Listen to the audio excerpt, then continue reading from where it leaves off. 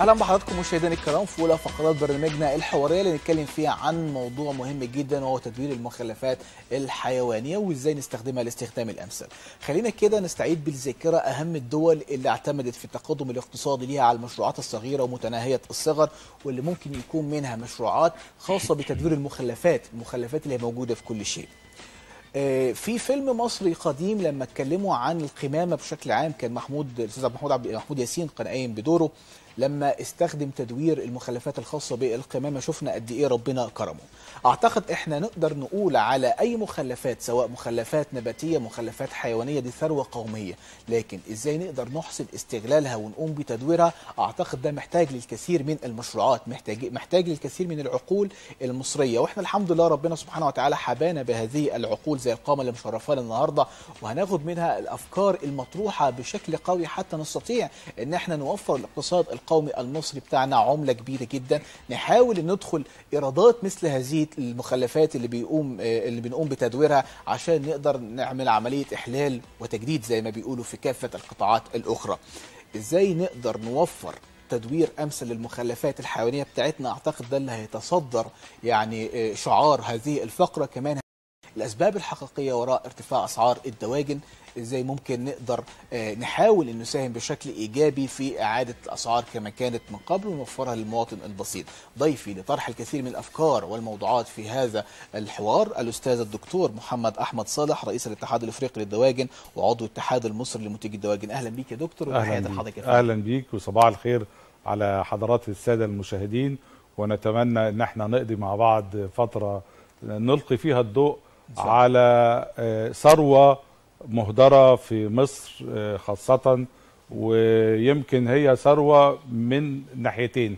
ثروة إن أنا أقدر أزود بها الدخل القومي المصري زائد إن أنا ثروة إن أنا أقدر أدافع بيها أو أعمل خط دفاع ضد المسببات المرضية اللي هي بتسببها لي القمامة أو حرق المخلفات الزراعية في الحقل والسحابة السوداء والمشاكل المترتبة على ذلك. جميل جدا. خليني أبدأ مع حضرتك يا دكتور وتدوير المخلفات الزراعية والحيوانية.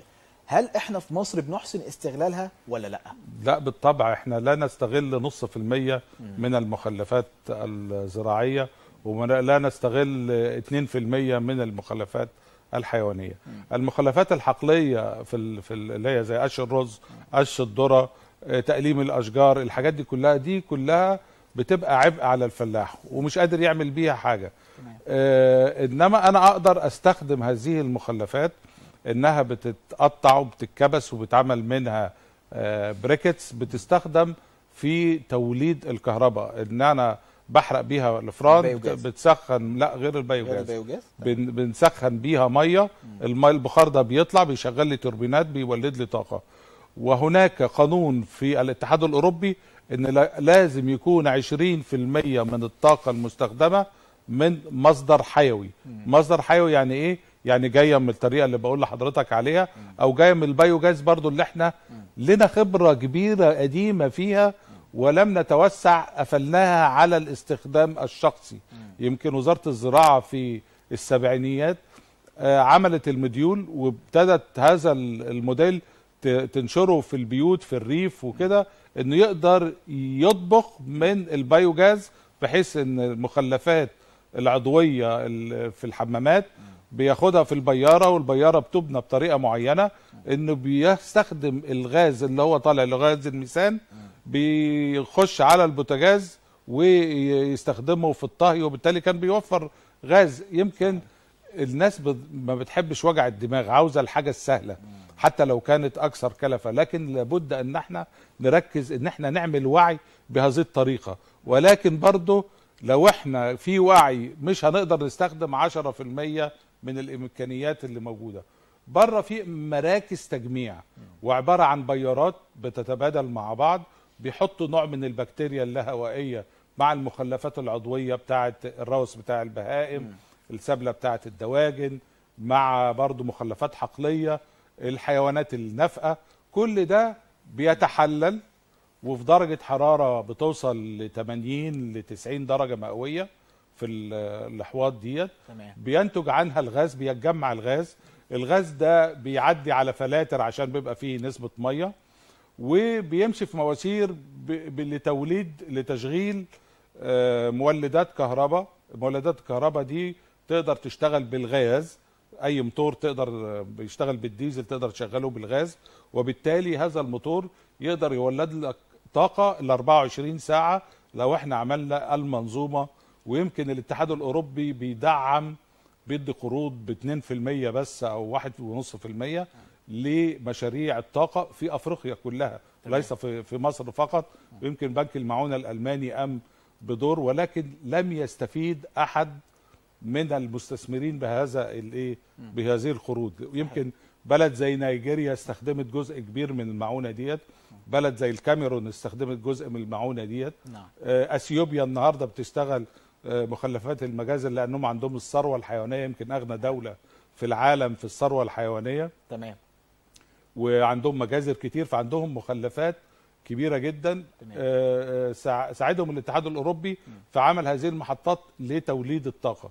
طيب خليني أسأل حضرتك المخلفات الحيوانية وتحديدا المخلفات ال- الخاصة بالدواجن أيوه. كيفية استخدامها والأوجه الاستخدام المتعددة إزاي نقدر نستفاد منها؟ وهل هذه المخلفات من ضمن المشروعات الم- ال- ال- الموجودة للتدوير هل نقدر نقول عليها من المشروعات الصغيرة المتوسطة أو متناهية الصغر بحيث إن إحنا نقدر ندعم بيها الاقتصاد القومي بتاعنا ولا لا؟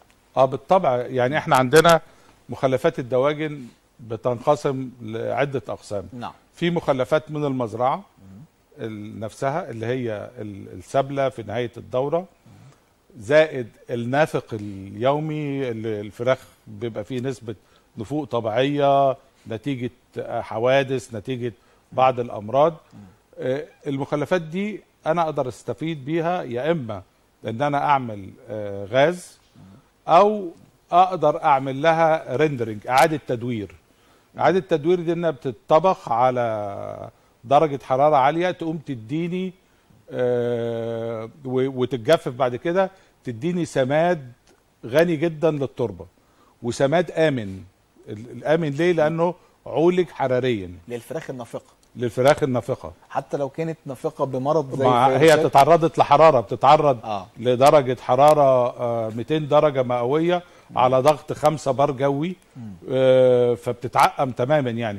فأنا بستفيد من المادة العضوية اللي فيها. المادة العضوية اتحللت وبقت في صورتها الأولية وبتبقى سماد عالي جدا للأرض الزراعية. جميل.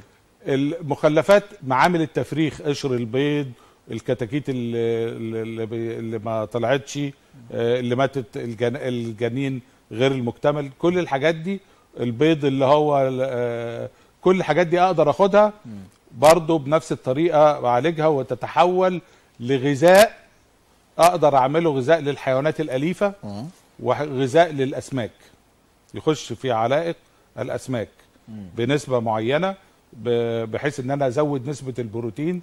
إحنا عارفين إن الأسماك نسبة البروتين في ال- الغذاء بتاعها لازم تعدي ال 32% تمام. فأنا عندي مصدر حيواني كويس جدا ومعقم وأقدر أستفيد بيه بحاجة زي كده. نيجي للمجازر. المجازر بينقسم ال- المخلفات بتاعتها لإيه؟ عندنا دم نتيجة عملية الذبح عندنا الريش وعندنا الأحشاء. صحيح. الدم ده سلعة غالية جدا. والأرجل برضه يا دكتور. لا يعني ال- الأرجل ما بنعتبرهاش لأن الأرجل بتتاكل وبتتصدر للصين. إنما إحنا بنقول ال ال ال الدم الدم دي قيمة ثمنه في العالم السعر الدولي بتاعه 3000 دولار الطن. يعني طب ليه أنا ما اجففش الدم ده و- و- وفي المجازر الكبيرة اللي موجودة فيها في مصر فيها خطوط إنها تتعامل مع الدم وتجففه وتحوله لم- لمسحوق دم. مسحوق دم ده بيستخدم في معامل الفاكسينات. معامل الفاكسينات وبي وبي وسعره العالمي غالي جدا. استخدامه إيه في معمل يعملوا إيه في معمل ال vaccine؟ بيعملوا عليه بينموا عليه البكتيريا. يعني ده أحسن حاجة ينموا عليها البكتيريا ويزرعوا عليها بكتيريا عشان يشوف كفاءة الدواء أو الأمصال أو الحاجات زي كده اللي هي ال- الميديا اللي بيبقى فيها دم. آه. آه، بيستخدم الدم في علائق الأسماك وعلائق الحيوانات الأليفة. يعني عشان تحفز الحيوانات الأليفة. إنها للأكل فلازم يبقى في آه، مسحوق دم وفي آه، زيت سمك آه، عشان تفتح شهيته لل- للأكل. ال- الجمبري الجمبري مزارع الجمبري كلها تستخدم مسحوق الدم في في الغذاء بتاع الزريعة بتاعت ال- ال- الجمبري. الجمبري. فدي ثروة دي مهدرة. صحيح. الريش الريش بيت- بيتعمل له حاجتين. بيتعمل له hydrolyzation اللي هي يعني بتح...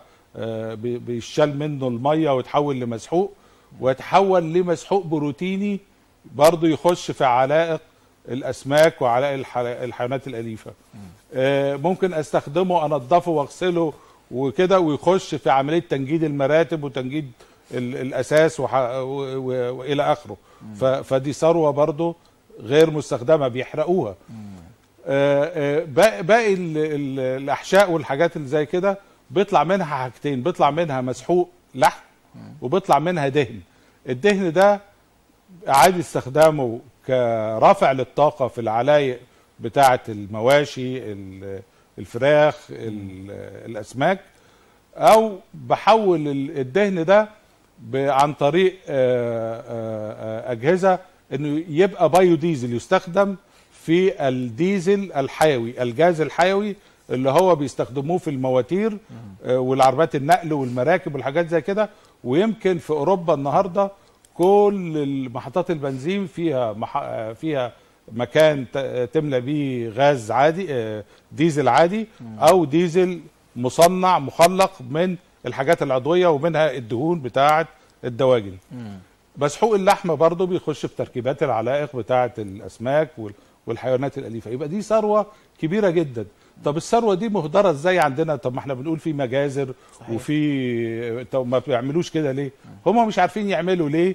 لأن النهارده من ك- كان هناك مشكلة بعد صدور آه، ظهور آه، إنفلونزا الطيور في مصر في سنة آه، 2006 من عشر سنين. ودي هزت الصناعة هزة جامدة جدا في مصر. آه، فطلع قانون إن ممنوع بيع الدواجن الحية داخل المدن. ليه؟ عشان أقدر أسيطر على انتشار إنفلونزا الطيور وما يتنقلش من الطيور اللي هي في الأسواق للناس اللي موجودة وبتتعايش مع الطيور الحية دي. تمام.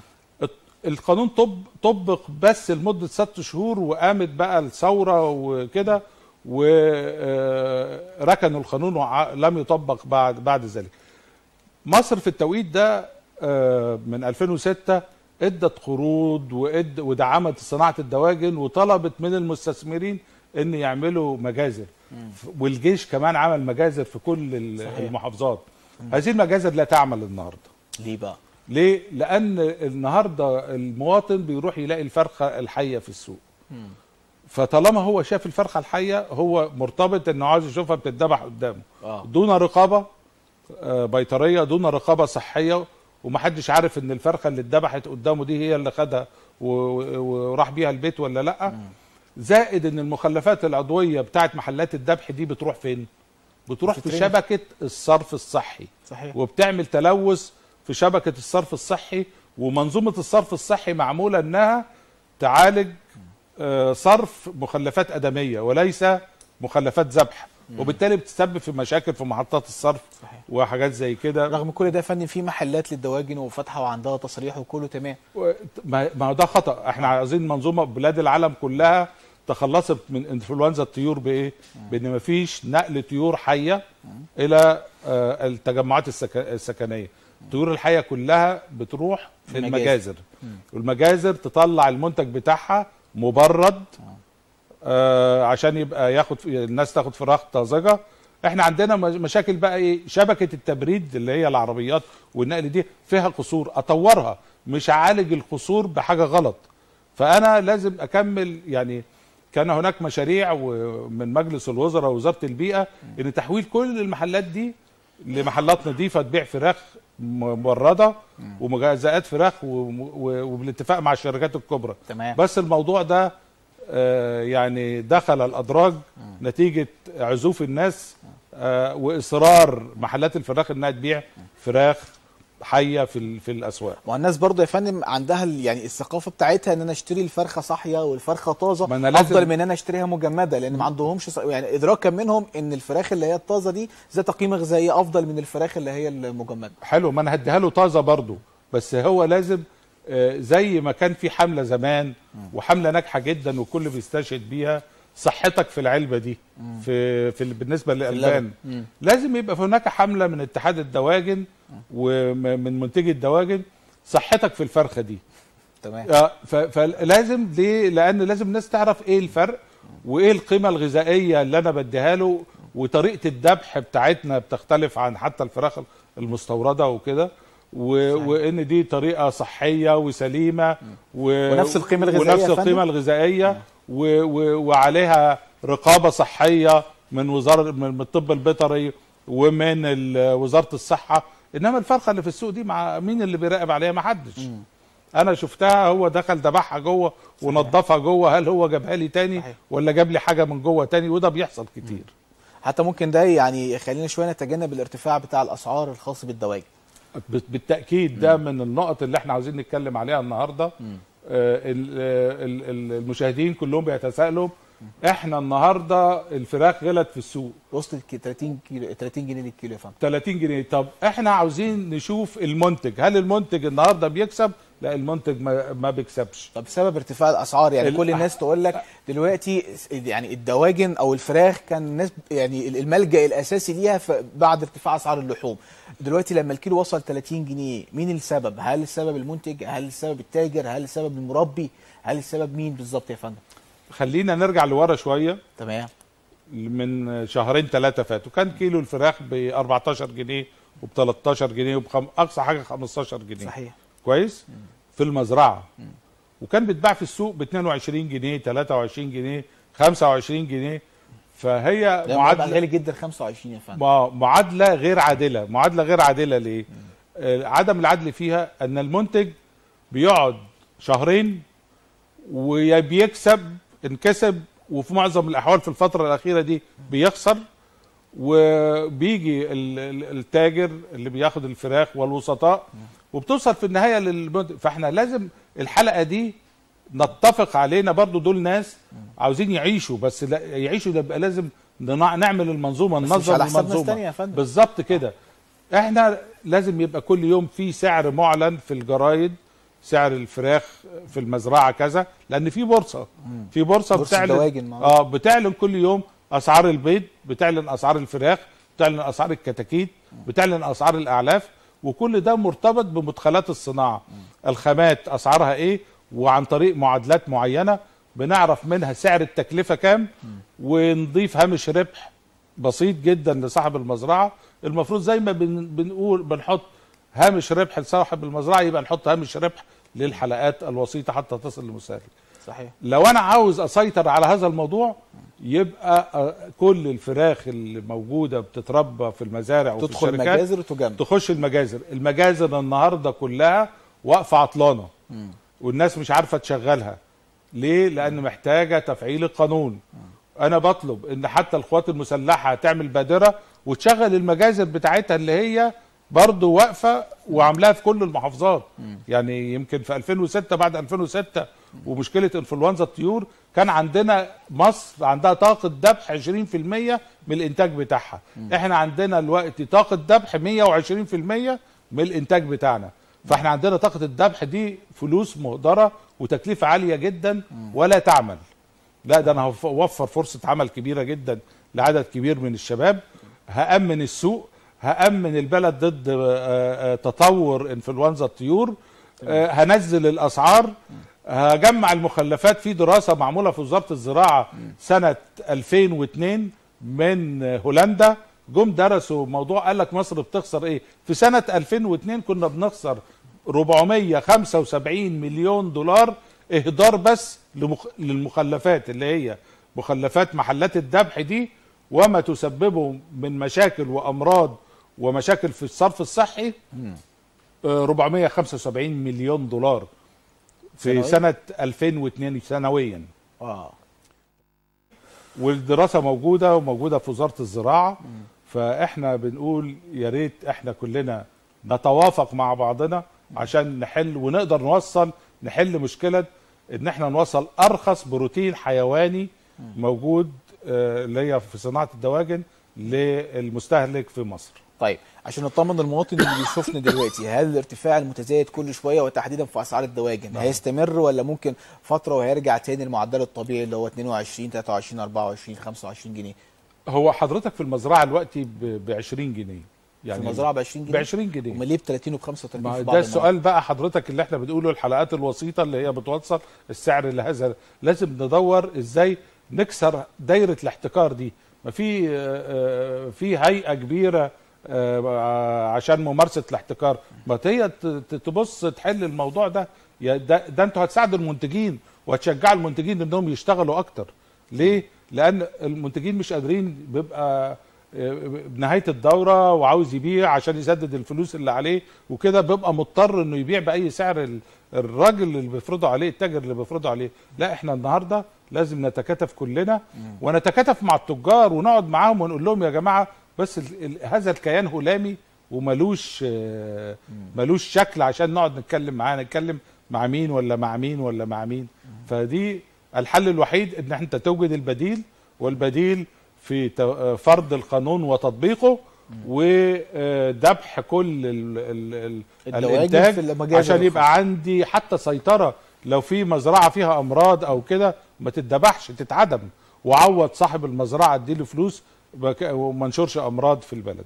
ده طبعا متطلب أيضا تكاتف المواطن بتجديد الثقافة عنده إن الفراخ المجمدة اللي أنا بذبحها في المجازر بتاعتنا إحنا والمذبوحه على الطريقة الإسلامية زي ما بيقولوا لا تقل تماما من القيمة الغذائية عن الفراخ الصحية اللي أنت حضرتك بتروح تشتريها لا ده بالعكس ده أنا. عاوز أقول إنها أعلى قيمة وأكثر صحة. ليه؟ مضمونة. آه، آه، إحنا بنمر بمراحل علمية في الذبح. يعني الفرخة ما بتتذبح بتتذبح بتخش مية سخنة بدرجة حرارة معينة. درجة الحرارة ديت من 55 ل 60 لو زادت عن 60 درجة مئوية. وطبعا الفرارجي ما عندوش مقاس بيقيس آه، يبقى في مشكلة في الفرخة. آه، الفرخة بتطبخ شوية معاه. تقل القيمة الغذائية آه. تقل القيمة الغذائية. لو قل عن آه 55 الريش بتاعها ما يطلعش كله في الرياشة. فانما ده أجهزة على درجة كبيرة من الدقة بتقيس درجة الحرارة وبتشتغل بالبخار. عندي حاجة تانية. بعد كده بعد ما بتتنضف من جوه كده بتخش درجة حرارة 4 درجة مئوية سواء بالتبريد ال- بالمية أو بالتبريد بالهواء. تمام. ده ما بيعملوش ال- ال- ال- الفرارجي. فدرجه الحرارة 4 مرويه بتقلل أي ب... يعني في بكتيريا موجودة في الفراخ. أكيد. فالعد البكتيري في الفراخ بيقف. البكتيريا لا تنمو في درجة الحرارة. فبالتالي الفرخة تبقى صح. لو خدنا عملنا عد بكتيري في الفرخة اللي مذبوحه عند الفراجي انت بتاخدها منه بتبقى سخنة. الفرخة لازم تخش صدمة حرارية درجة حرارة أربعة عشان تنشف وعشان العد البكتيري يقف. تمام. العد البكتيري ده بيزيد بقى في الفراخ اللي جاية من عند الفرارجي آه لو أنا خدت الفرخة دي وقعدتها شوية في البيت وجيت أدخلها ال- الفريزر أجمدها هلاقي وأنا بفكها الاقي ليها ريحة. الريحة دي من النمو البكتيري اللي كان في الفترة من ما بعد الذبح لغاية ما أنا دخلتها حطيتها في الثلاجه أو في الفريزر. تمام. الكلام ده ما بيحصلش في الفراخ المذبوحة الطازجة أو المجمدة. طيب نرجع تاني لمنظومة الاستفادة من المخلفات الخاصة بالدواجن وأعتقد زي ما حضرتك ذكرت من شوية إن كل حاجة من المخلفات بنستخدمها في طريقة وبنستخدمها في كل الأشياء. يعني في مجريات امور أمور حياتنا. حاجة بنستخدمها في الزراعة حاجة بنستخدمها في المزارع السمكية وأيضا العديد من الأغراض الأخرى. طيب ليه ما يكونش في منظومة يا فندم تدعم استخدام المخلفات الناتجة من ال- الفراخ؟ وبشكل كبير جدا خاصة في هذا التوقيت. إحنا بنشكو دلوقتي غلاء ارتفاع أسعار الدواجن في ظل إن إحنا عندنا آه، بعض الأشياء اللي إحنا ممكن ندعم منها آه، ندعم بها عفوا هذه الصناعة بشكل كبير. ال- المنظومة دي زي ما بقول لحضرتك هتشتغل فقط عندما تعود المجازر الدواجن إنها تعمل بكافة طاقتها. لأن النهارده آه، أنا أعرف آه، آه، شركات كبيرة قافلة عملت المسالخ بناتها وما اشتغلتش خالص. في شركات بتشتغل ب 5% من طاقتها. يعني عشان تبقى متواجدة في السوق. إنما النهارده لأن هو بينتج وبيخسر في المنتج بتاعه نتيجة إن الناس كلها بتروح للفرخة ال- الصاحيه نعم. وما بتاخدش الفراخ اللي هي آه، عدد قليل جدا من الناس اللي هي بتاخد الفرخة ال- المذبوحة الفريش أو المجمدة طب الجهات اللي ممكن تخدم الموضوع ده في حيث إن هم يقدروا يتضامنوا مع بعضهم البعض ونقدر نوفر كل هذه ال- ال- يعني ال- ال- الدخل والعائد من المخلفات وتدريبها بشكل كبير يا فندم يعني ال- الجهات إحنا كان في اجتماع آه، يوم الخميس اللي فات في وزارة الزراعة مع الإدارة الجديدة للثروه الحيوانية. ويعني الاجتماع كان مبشر بالخير. واتكلمنا برضو على استخدام إن إحنا نجمع آه، مخلفات الدواجن والنافق بتاع المزارع إن إحنا نتعامل بيه بصورة حضارية. لأن المزارع بياخد صاحب المزرعه بيعمل إيه؟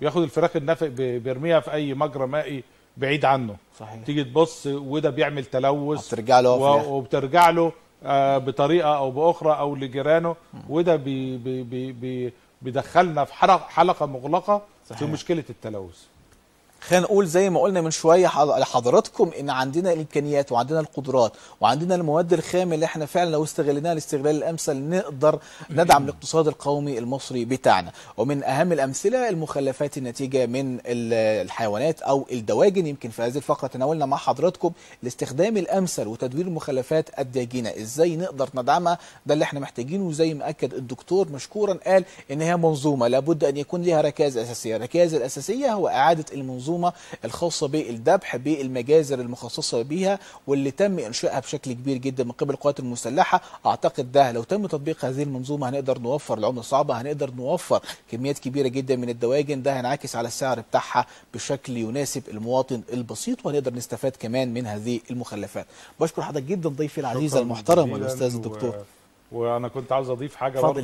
يعني من الحاجات الطريفة اللي هي في صناعة الدواجن إن الصين بتاخد رجلين الدواجن والناس كلها بتعتقد إنها بتاكلها. آه هي بتاكلها بس هم بيستخلصوا منها مادة الكولاجين اللي هو بيستخدم في أغراض طبية كتيرة جدا. العرف بتاع الدواجن ده بيستخدم في جراحة في في التجميل في مادة الهيلورونيك أسيد اللي هو موجود مركز في العرف بتاع الدواجن. بياخدوه اللي هو بيتحقن تحت الجلد عشان التجاعيد وال والحاجات دي أو بتحقن في الركب عشان خشونة المفاصل وكده. سبحان الله. اسمه الهيلورونيك أسيد. فدي من الحاجات برضو يعني إحنا. عندنا حاطين إيدنا على الكنز صحيح. بس مش عارفين إن إحنا عندنا آه، كنوز يعني في ال في ال وبنرجع يعني نستوردها يا فندم ونرجع الدولارات يعني سنويا يعني حضرتك في حاجات كتيرة في ال يعني مثلا قشرة الطماطم دي بيشتروها بره بالطن عشان بيستخلصوا من كل طن مثلا 4 جرام مادة معينة هي العلاج الأمثل لسرطان البروستاتا تمام يعني آه، في حاجات عندنا كتيرة جدا عندنا وعندنا يا فندم آه، الإمكانيات آه، والمهارات عندنا. الإمكانيات بس يعني إن نعمل شاء يا رب في التطبيق إن شاء الله على أرض الواقع أنتوا لكم دور كإعلام مع طبعا. توعية المجتمع نعم. وتوعية الأجهزة التنفيذية شاء الله. إن إحنا نقدر نجمع خبرتنا كلها مع بعض نعم. من أجل صالح بلدنا مصر ونتمنى يا رب من الأجهزة التنفيذية تقوم بتطبيق مثل هذه التجارب على أرض الواقع شكرا لك ضيفي العزيز الدكتور محمد أحمد صالح رئيس الاتحاد الإفريقي للدواجن وعضو الاتحاد المصري لمنتجي الدواجن شكرا ليك يا فندم وتحياتي شكرا نورتنا شكرا شكرا. بعد الفاصل مستمرين مع حضراتكم مشاهدينا الكرام في ثاني فقرات برنامجنا الحوارية البرنامج ساعة صبحية. انتظرونا.